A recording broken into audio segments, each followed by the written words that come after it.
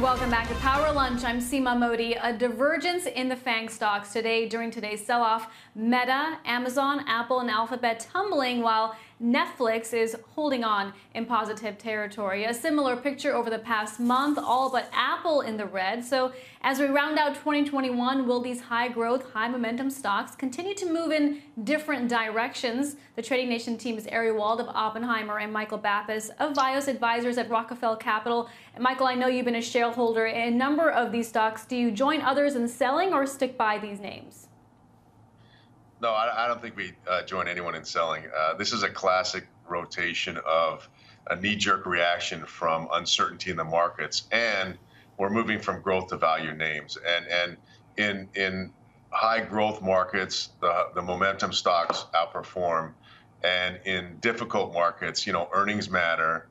Companies that are a flight to safety with earnings growth and with deep value trades is what's going on right now quality always outperforms in volatile markets. And you know, in the middle of this tech revolution that's happening in, in, in I would say from from 10 years ago to the next 30 years, you're going to always see technology outperform. So, I mean, I wouldn't get caught up in the panic of the trade of uncertainty. You know, you have the Fed, you have the Omicron virus that's going on right now. This is hopefully more on the short term basis, and we'll get back to what really matters. That's earnings, that's earnings growth, and that's companies that are outperforming because they offer the best product with the best management team.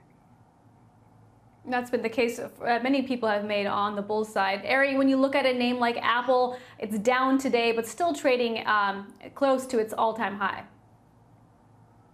Yeah, I, I think that's uh, one of the more important ones to watch. I think this setback in Apple has really weighed on on the Nasdaq overall and it's caused this flight to safety. I, I, don't think it's really been about any sort of broader rotation than that, just a pure move towards safety areas of the market. So that's why I'm watching Apple. I'm watching trading levels. There's one at 166, uh, followed by 157. I think uh, that uh, some stability in Apple will help stabilize the market. But the reason why we like it for the long term and why I think these higher growth companies continue to receive a scarcity premium in this uh, low growth uh, recovery here is that relative to the NASDAQ, relative to its peers, Apple is resuming its 2020 breakout uh, above eight year relative resistance. I think that bodes well for additional outperformance uh, looking out into the new year. And Apple shares trading at 170 a share. Ari and Michael, great to see you both. When it comes to investing, there are generally two popular methodologies fundamental analysis, which focuses on things like revenues, earnings, and cash flows, and technical analysis, which focuses on chart patterns, price movement, and momentum. I'm Joanna Payne, and Schwab is the better place for traders.